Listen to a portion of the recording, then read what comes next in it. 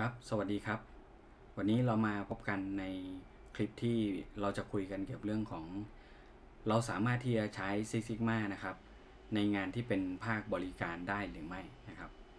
ก่อนอื่นนะครับ ผมอยากจะอธิบายนะครับ ถึงบริบทของ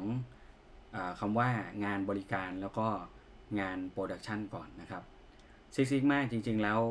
ต้นกำเนิดเกิดจากการที่ มีวิศวกรในโรงงานนะครับที่ต้องการที่จะแก้ไขปัญหาโดย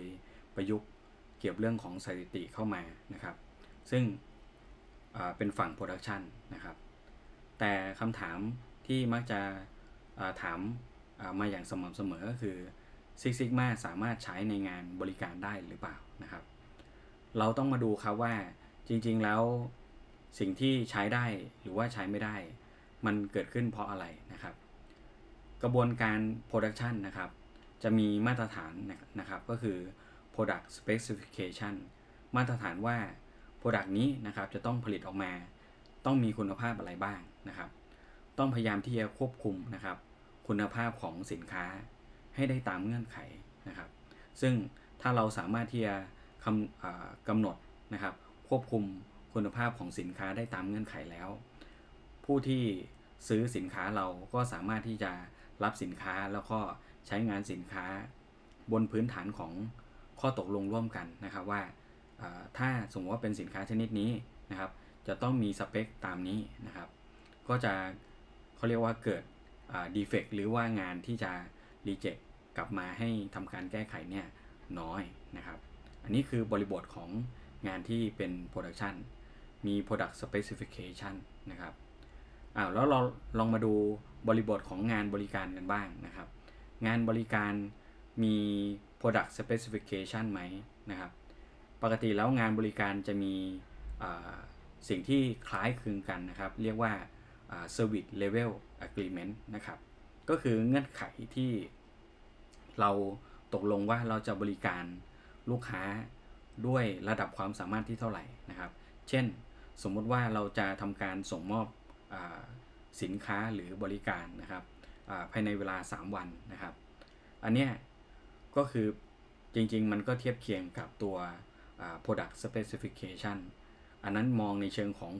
product quality นะครับ แต่ว่าถ้าในงานของสาย service เนี่ย ตัว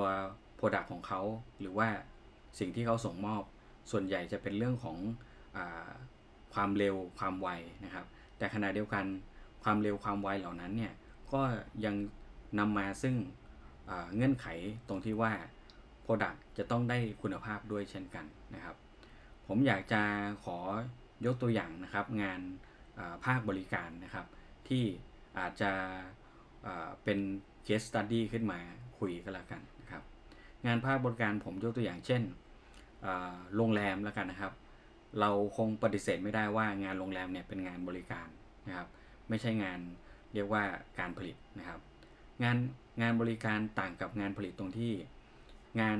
บริการจะต้องทำณเวลานั้น ไม่สามารถที่จะทำเพื่อที่จะสต็อกไว้ได้นะครับ คือถ้ามีลูกค้าเราก็จะเริ่มบริการ แต่งานผลิตนะครับ สามารถที่จะผลิตรอลูกค้ามาสั่งซื้อได้นะครับ เช่นทีวีตู้เย็นนะครับ ลูกค้ายังไม่ได้ต้องการ แต่ว่าเพื่อให้ Production Line อ่ามีการเดินอย่างราบรื่นนะครับ แล้วก็มีเรื่องของอต้นทุนตรงที่ว่าถ้าเราได้ start production line แล้ว เราจะต้องทำการผลิตอย่างต่อเนื่องนะครับ จะหยุดไม่ได้เพราะว่าทั้งเครื่องจักรแล้วก็คนเนี่ยได้ถูกจ้างมาแล้ว เพราะฉะนั้นเนี่ย production ก็มักจะผลิตสินค้าเพื่อสต็อก แล้วก็รอการสั่งซื้อ อันนี้คือลักษณะของ production แต่งานบริการเนี่ยจะต่างกันตรงที่ว่า งานบริการกระบวนการจะเกิดขึ้นตอนที่ลูกค้าติดต่อมา หรือตอนที่ ผู้ให้บริการได้พบปะกับลูกค้านะครับในกรณีที่ลูกค้ามาที่โรงแรมใช่ไหมครับสิ่งที่ลูกค้าจะเริ่มสัมผัสได้ก็คือบริการของโรงแรมนั่นเองใช่ไหมครับเริ่มตั้งแต่ reception ใช่ไหมครับเดินเข้ามานะครับพบปะพนักงานต้อนรับใช่ไหมครับมีการทักทายมีการเรียกว่าขอกุญแจห้องใช่ไหมครับมีการตรวจสอบชื่อนะครับว่าผู้เช่า ห้องหรือว่าผู้ใช้ห้องเนี่ยคือใครใช่ไหมครับ ขั้นตอนเหล่านั้นเนี่ยมันคือ process นะครับ ซึ่งเป็น process ของงาน service นะครับ ต้องถามว่าแล้ว Six Sigma จะนำมาใช้กับงานบริการได้หรือไม่คำตอบก็คือได้ครับ แต่ว่าเราก็ต้องมาดูบริบทของลักษณะของปัญหาของเรานะครับ ผมยกตัวอย่างนะครับ ถ้าโรงแรมนั้นนะครับ มีมาตรฐานที่สูงมาก ต้อง ต้องการที่จะให้ลูกค้าเกิดความมั่นใจนะครับ เช่น ในกรณีที่ลูกค้าเข้ามา แล้วลูกค้าจะได้รับคีย์การ์ดหรือว่ากุญแจห้องเนี่ยภายในเวลา 5 นาทีสมมตินะครับ ถ้าเราใช้ตรงนี้ในการที่จะการันตีคุณภาพบริการนะครับ เราก็สามารถที่จะใช้ Six Sigma มาชี้วัดว่าระดับความสามารถของกระบวนการตรงเนี้ยนะครับ ของเราทำได้ในระดับไหนนะครับ ซึ่ง ก็สามารถใช้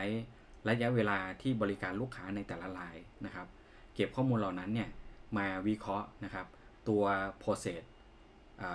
performance ได้นะครับ ซึ่งก็จะก็จะได้ค่า CPK ออกมานะครับ ค่า CPK ก็คือตัวเลขที่บ่งบอกถึงระดับความสามารถของกระบวนการนะครับ ตรงนี้ก็สามารถที่จะประยุกต์ได้นะครับ ในกรณีที่เรามีเกณฑ์มีมาตรฐานในการที่จะบริการ ใด ๆ ให้กับลูกค้านะครับ แต่อีกมุมมองหนึ่งนะครับ งานบริการก็จะมี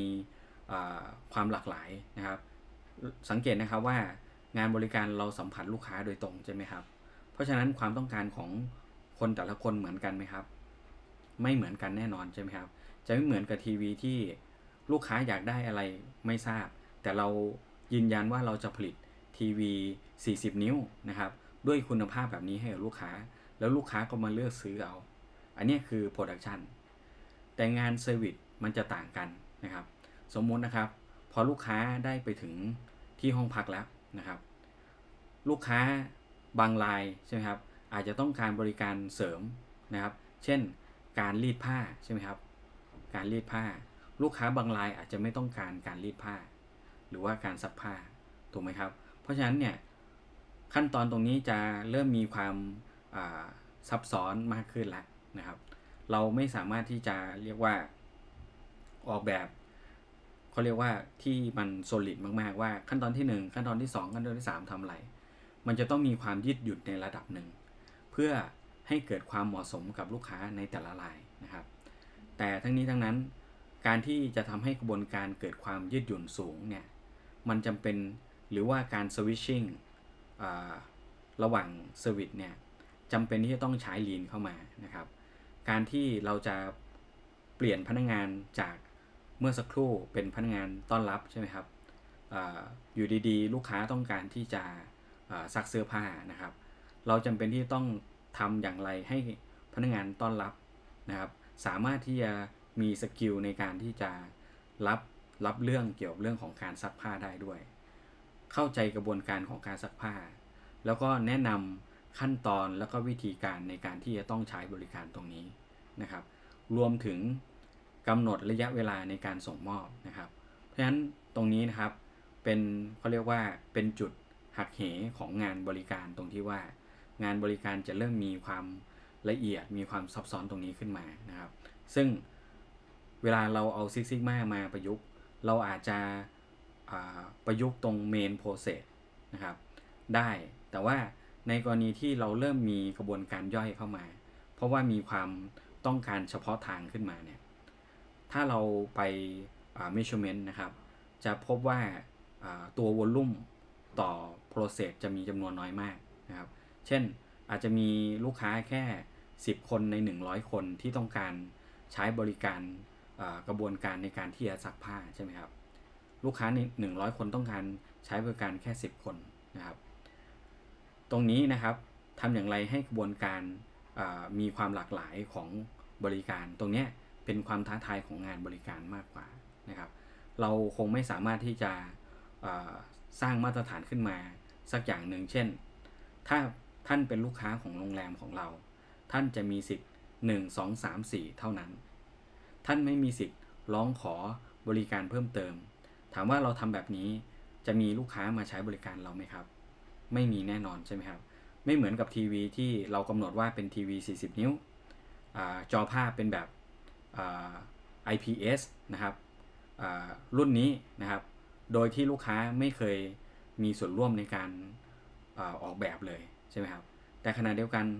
บริการของโรงแรมหรืองานบริการเนี่ยลูกค้ามีส่วนร่วมในการออกแบบบริการเหล่านั้นเสมอนะครับ บางครั้งเขาอาจจะอยากได้อะไรที่เราไม่เคยออกแบบไว้ใน กระบวนการปกติด้วยซ้ำนะครับ ซึ่งทำอย่างไรที่งานบริการกระบวนการของงานบริการ จะสามารถรองรับเขาเรียกว่า variety of product ตรงนี้ได้เนี่ยเป็นความท้าทายแล้วก็เราเองอาจจะต้องเรียกว่า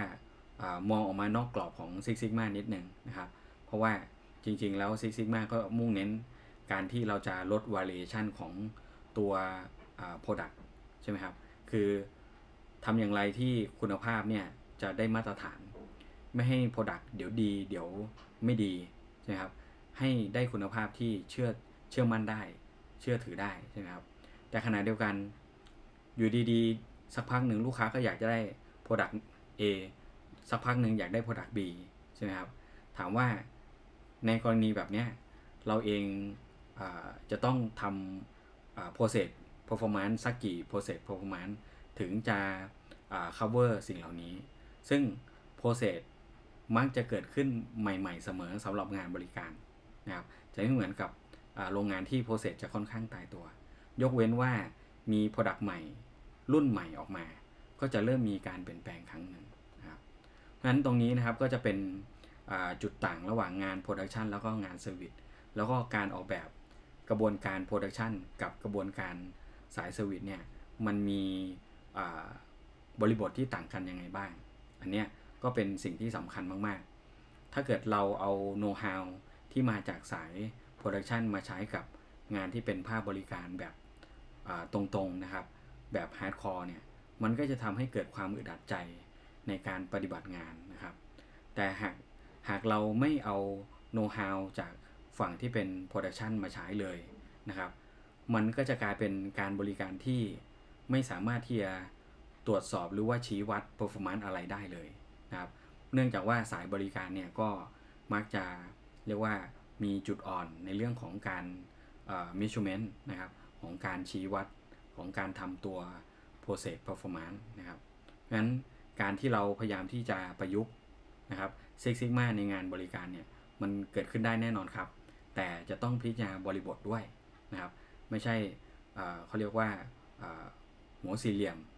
ยังไงก็จะใช้เมท o โลจีที่มาจากสายโรงงานแบบไม่ประยุกต์เลยนะครับ ซึ่งจริงๆแล้วเครื่องมือบางตัวไม่มีความจำเป็นที่จะต้องใช้ในงานบริการด้วยซ้ำไปนะครับกลับกลายเป็นว่าอาจจะต้องการเครื่องมืออื่นๆที่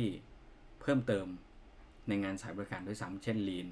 นะครับ ตรงนี้ผมก็อยากจะฝากเพื่อนๆไว้นะครับว่าเพื่อนๆที่มาจาก สายโรงงาน แล้วก็เข้ามาทำงานสายภาคบริการเนี่ยจะต้องระมัดระวังเสมอนะครับ ซึ่งผมมักจะพบเจอนะครับว่าอพอบริบทเปลี่ยน แต่ว่าเรายังไม่ยอมปรับเปลี่ยนเครื่องมืออให้มันเหมาะสมกับบริบท มักจะได้รับแรงต้านแล้วก็การไม่ยอมรับเครื่องมือเหล่านี้เสมอนะครับ